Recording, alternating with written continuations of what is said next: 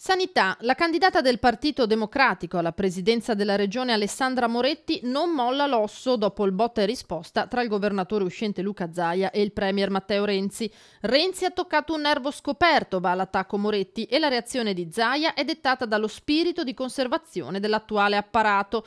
Troppe 22 USL in una regione con sette province, dice la candidata del PD. Nessuno discute le punte di eccellenza del sistema sanitario veneto. Quello che non va è l'organizzazione del delle USL. Averne oltre 20 vuol dire avere posti da dirigenti e da direttori generali. Capisco che questo faccia comodo alla vecchia politica, ma è ora di togliere soldi a questi carrozzoni. Moretti punta a ridurre le aziende sociosanitarie a 8. Il risparmio di spesa pubblica regionale che ne conseguirà, sottolinea, resterà nell'ambito sanitario, a cominciare dalle indennità dei posti da dirigente tagliati che torneranno, dice la candidata del centro-sinistra, nelle tasche dei cittadini sotto forma di meno tasse e più servizi.